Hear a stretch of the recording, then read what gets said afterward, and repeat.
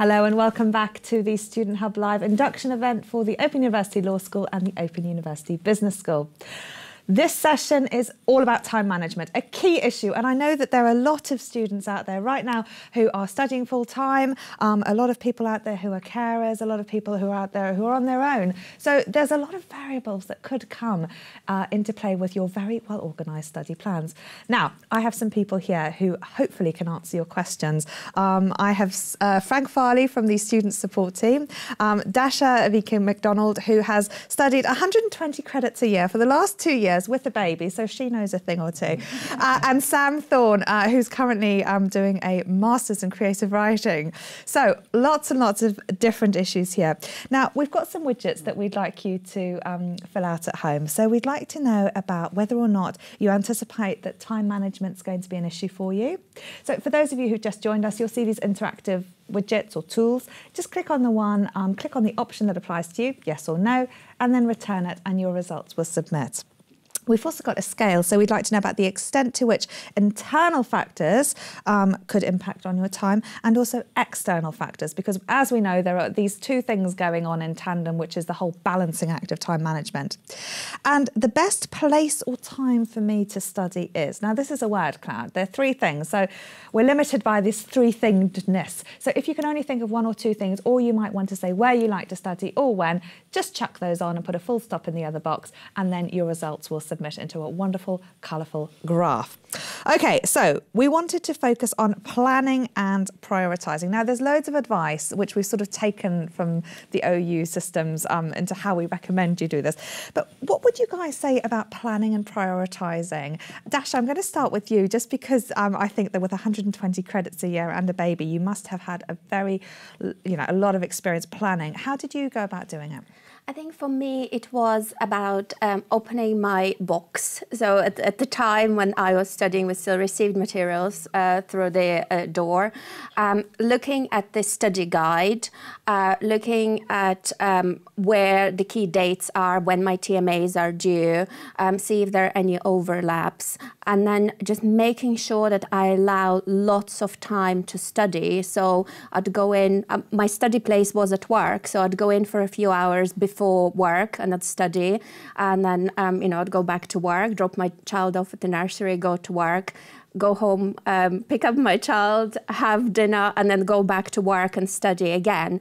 So I'd say just don't underestimate how much time you need and to start with, be a little bit um, generous with the time, and then once you got into routine, um, that should help as well. So I think for me, review the dates, uh, be generous with the time, and and find out where you're going to be studying. Make sure that it, it's all set up. You must have been shattered. I mean, all of that going on.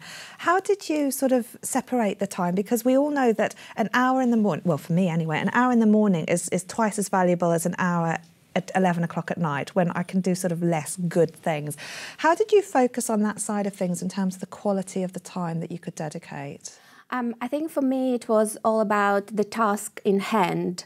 Um, so um, in the morning it was good for planning. Um, so I'd really look at um, the TMA, an essay that I have to write, and um, I basically had to isolate myself. So I'd uh, switch my internet off, you know, and I'd kind of really start writing. And sometimes it's not about writing something amazing straight away. It's just uh, doing a bit of a brain dump. So and and and just going with the flow, um, and then actually, you know, looking back and then fi- uh, fine tuning your work.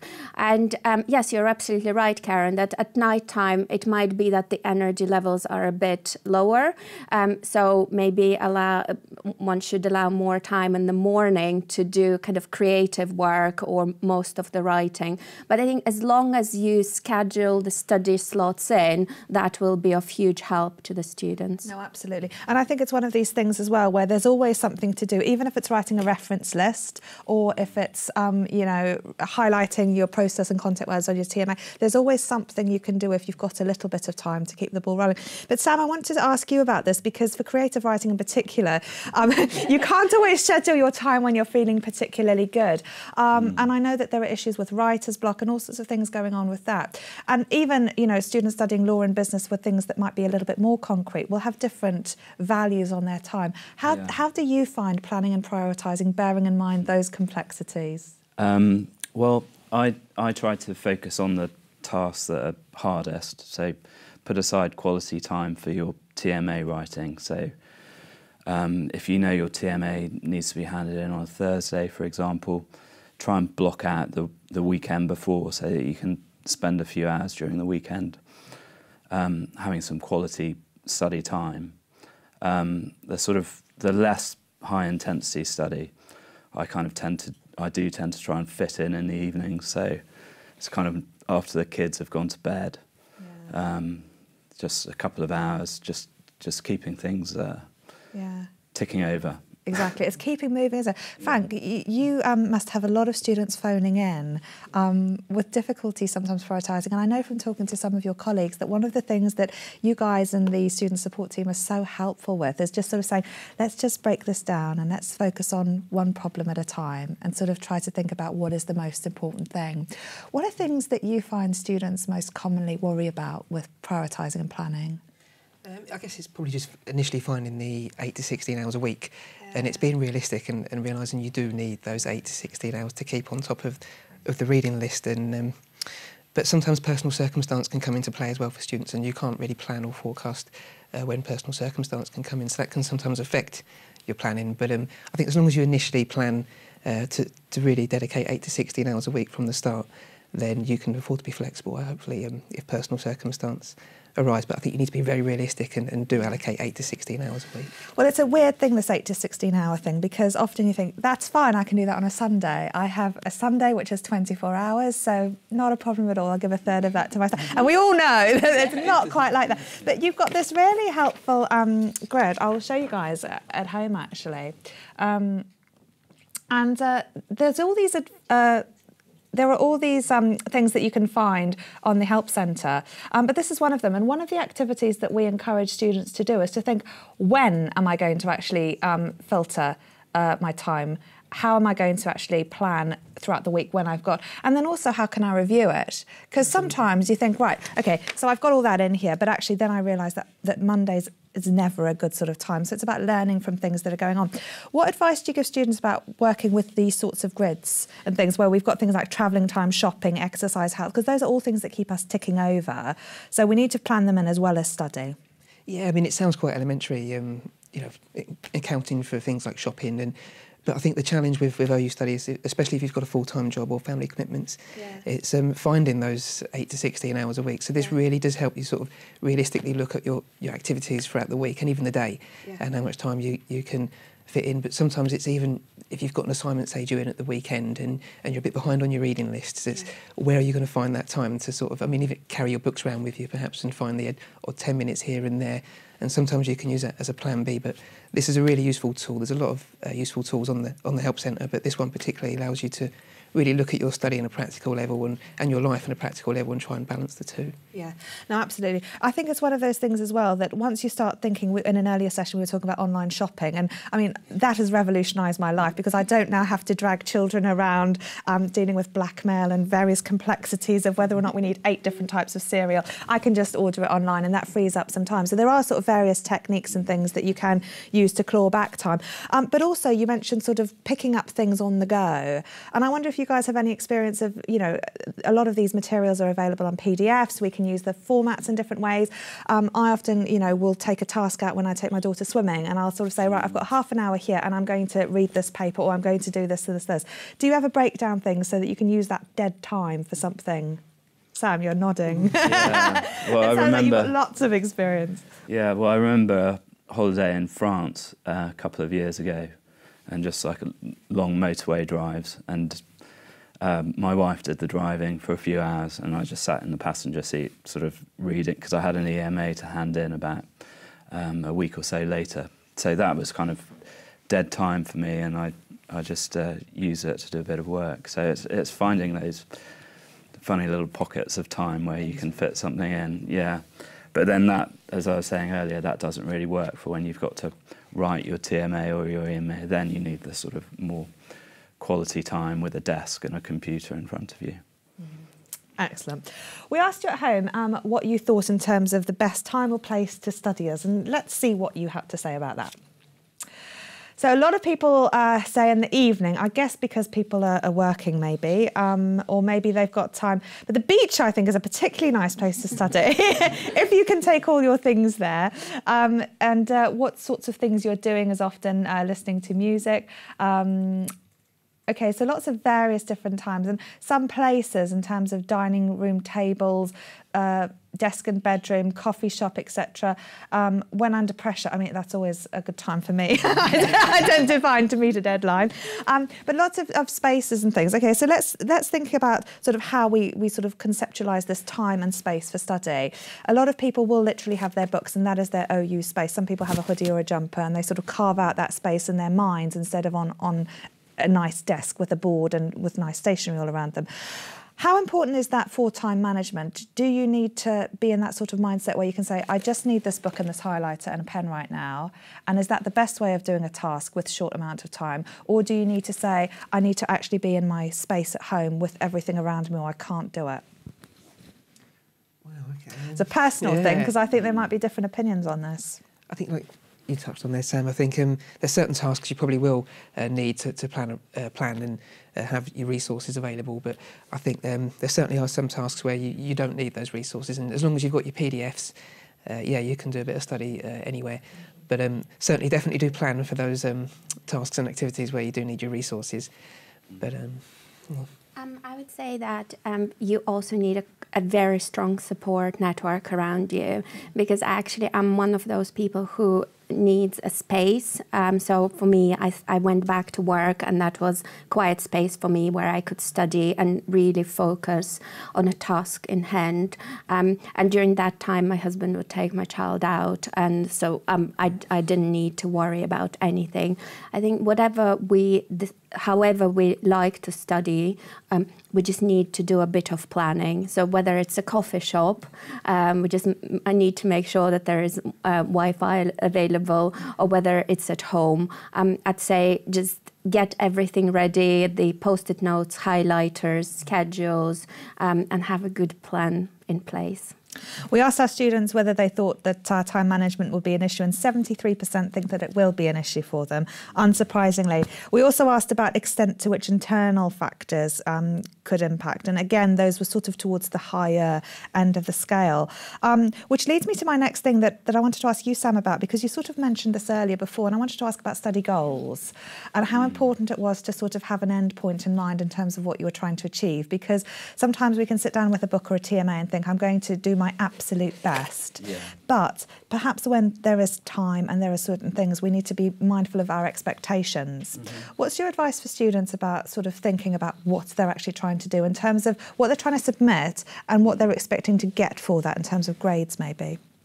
Um, I think I would echo what Dasha said earlier about that first draft. Just get it down. Don't worry too much about the quality of it. Um, you'll hopefully you'll have been taking good notes all the way through in the lead up to the TMA. I think um, when when you you know five weeks before your TMA, have a look at the actual question and have that question in front of you as you're sort of going through the books and making notes, and then your notes will be tailored to be able to answer the TMA more easily. But when it actually comes time to write the TMA, yeah, just don't worry about the quality. Just get that first draft down, hopefully do it a few days before you need to hand it in. And then you've got maybe four or five evenings after that where you can start um, editing it and polishing it up, filling in your references, yeah. all that kind of stuff. And this is in an ideal world where we've got time planned in. But then yeah. when these external factors can happen, someone goes to hospital, a child is sick, and all of a sudden that nice time that we'd carved out in that week is gone. Yeah we might sort of need to be mindful of our expectations. And sometimes I'll say to my students, well, what did you expect to get? You've had three hours to do this. You've had a sick mother. Um, you haven't been able to sleep. Why did you think you could get a distinction? Because it's not a reflection on your ability. You've had all this stuff going on. And so, you know, people can be very hard on themselves sometimes. And also, we know that the TMAs are weighted. So, level one, it doesn't really matter in terms of your overall degree. It's a nice sort of way to get set up. And often they're different. But, Frank, tell me, do students know about the sort of way that, that they're being assessed? And is it important if things are sort of um, getting a bit too much to sort of take a step back and think, actually, how important is this? This TMA in terms of my overall degree and in terms of the weighting maybe for this module?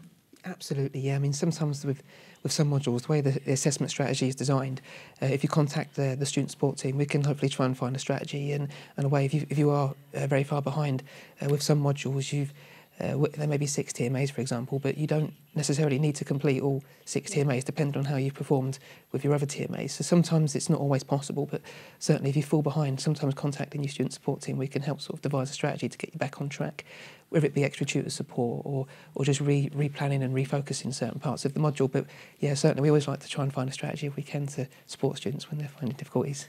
Excellent. So this leads us to our next point about being flexible and realistic, which is something that we encourage students to do. So tell us about the realistic side, I think, which is possibly more difficult than the flexible side. Who'd like to come in on that?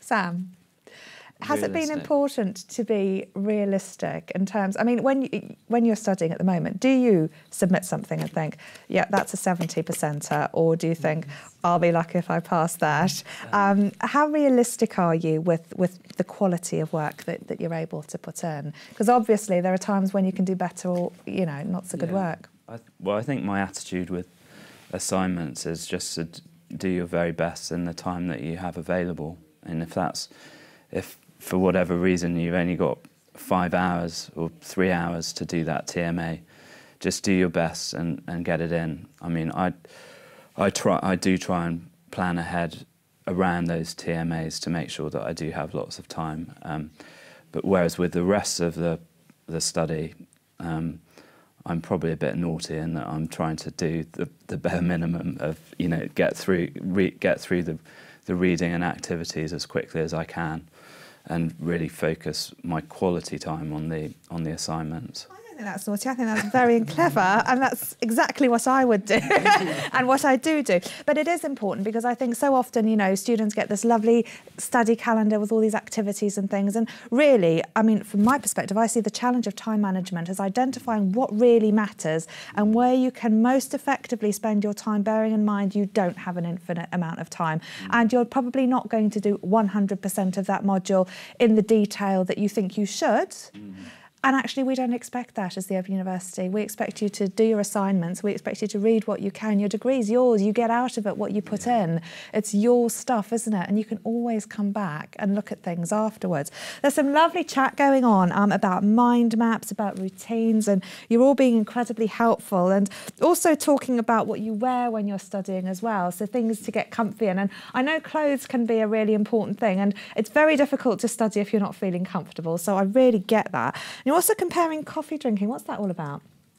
Uh, we're just talking talking about some of our study tips, and Mohan said uh, I study in twenty to thirty minute bursts and have a small break where I have some tea. And it seems that a lot of people agree with this. So uh, Mohan's already on 15 cups of tea a day. And uh, Mel- Melanie and uh, Anne Marie are neck and neck on their fourth cup of coffee of today. So uh, I think I think we've got some heats going on with this, but uh, it's great seeing all these study tips. With what we're wearing, Libby's decided we should have a pajama party, and I think uh, we can have a pillow fight, fight outside. There's some cushions upstairs. Like to see you in your pajamas. yes, we'll have to do that. But uh, yeah, lots of lots of great study tips here. I like all of these, and um, printing off our uh, grades and like successes and putting them on the wall. I think that's really good to do because where everyone gets in a bit of rut with studying. So uh, yeah, just having some motivation. Is, uh, there are a lot of questions about how to get motivated, mm. and so I thought there was a great idea about printing off the certificates and putting them yeah. up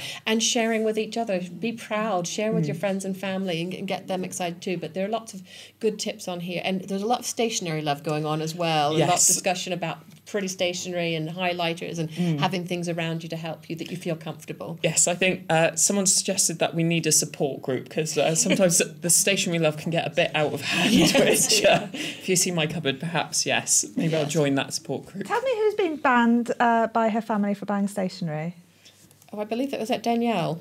Yes, I think she said she had like over 400 pens and uh, 20 notebooks, and uh, we we like uh, having pristine notebooks, so we can't use them, but we do still need them, of course.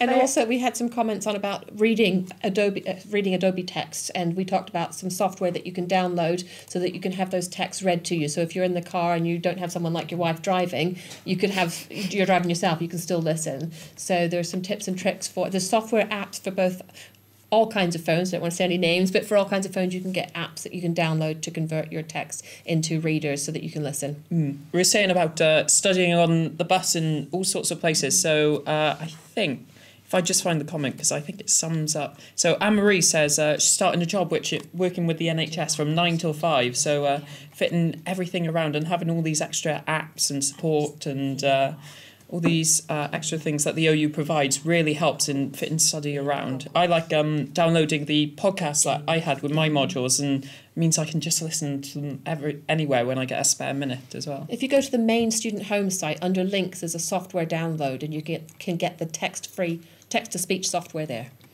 I think that might revolutionise my life. I've never heard of that before, but I'm really excited by that. Um, and the stationery and things, you know, it's really, really important to feel ahead. Um, I wonder if we can just sort of finish um, by talking about motivation, um, because we've, we've pretty much covered a lot of things. But in terms of getting motivated, there's a deadline and imminent doom uh, if you don't complete uh, your assignment by that date.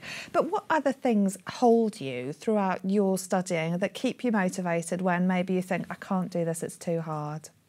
Um, I think for me it was uh, attending tutorials and talking to my peers. Um, that that was uh, an absolute must, and you get so many amazing tips from your tutors as well.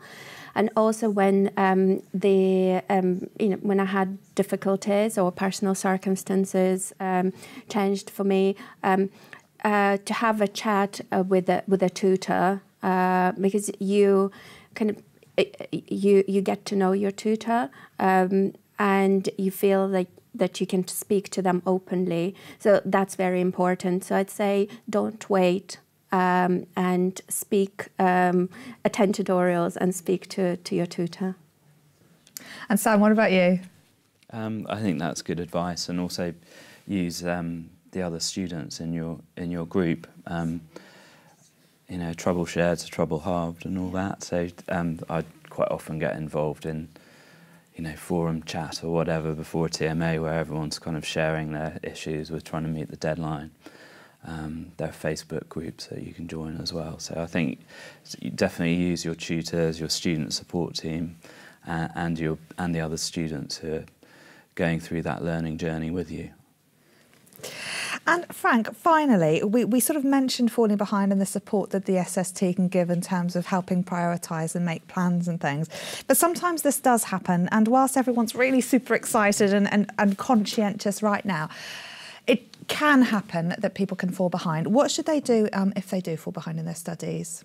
Uh, I mean, always contact your tutor first to see if there's anything that can be done there, any flexibility with, uh, with perhaps an extension.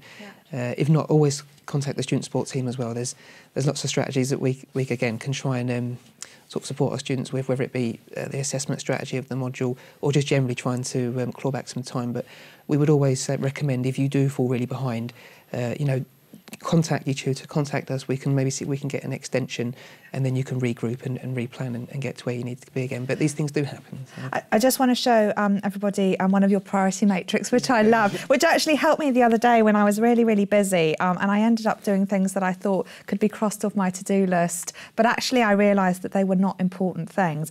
Um, so we've got this priority matrix, um, which is about what you need to do first, do next, do later, or not to do. And sometimes when there is so much stuff going on, it can be really helpful to maybe sort of start sectioning some of the, the tasks in these lists because again you know there are certain things that you could do later such as maybe additional reading that's not related to the assignment. Yeah i mean I guess again, it all comes back to your original planning. Uh, there's some things you may not need to do. There's some things that you may need to do. There's some things you need to put more time into. But a lot of the, I always find that you know your, your piece of work at the end is only as strong as the, the amount of time you're prepared to put in or put into your, your resources and your reading. But the, yeah, when you fall behind, there is often always a way to try and um, to try and catch up and it's just contacting your tutor and your student support team. And hopefully, we can find a strategy for you. I don't know how it's possible, but we always manage to find time to uh, do the things that don't really need doing. I think, which is why procrastination is, is possibly such a common OU problem. To the internet, don't you? Sometimes if you're at your at your computer, just Yes, default, I just yeah. must do this right now. disconnected. That's what I used to do. I really would dis- disconnect my internet when I needed to write. Yeah, yeah, turn no, my phone. and that's a very good idea because you can't then be um, uh, distracted when your email and, and things are off. Um, so one of the ways I think that's really evident uh, is this obsession with stationery right now because um, Sarita's been banned from buying any stationery, um, and Anne's family are getting quite annoyed with her for buying more. But Danielle has ordered some new highlighters who are in the post, um, waiting for her. And Zoe says that uh, they should set up a stationery support group um, which, which I think I think maybe would be in the lower echelons of that matrix. But you know, nonetheless, it's an important thing, and stationery can really, really help. In fact, I have a colleague who's coming along tomorrow. We're doing a session um, at our Student Hub Live boot camp on note taking, and she's got these amazing post-it notes. So um, come along if you want to talk about reading, writing, and note taking uh, with us tomorrow. Okay, so um, Sam and Dasha and Frank, thank you so much for joining us in this session. You've given us some really useful advice, but most importantly, you guys on the chat have been sharing so many many useful ideas. Where we can, we'll put up those links um, that uh, we've been talking about on the resources page of the website. So do check that out later. Um, and if you've got any other things to share as well, do let us know. You can either put those in the chat, you can email us studenthub at open.ac.uk or you can put something up on Twitter. And our hashtag is StudentHubLive17. So do let us know what things, apps, tools, techniques, and stationery help you stay on track with your studies, and we can get a nice list together that you can all share, and that'll go up on the website very soon. Right, our next uh, video is Jamie actually doing our virtual reality app for the law school. Um, and then we're going to come back um, for our next session in a few minutes, um, where we're going to be uh, finding out what a sight for sore eyes has to do with plagiarism. We'll see you in a few minutes.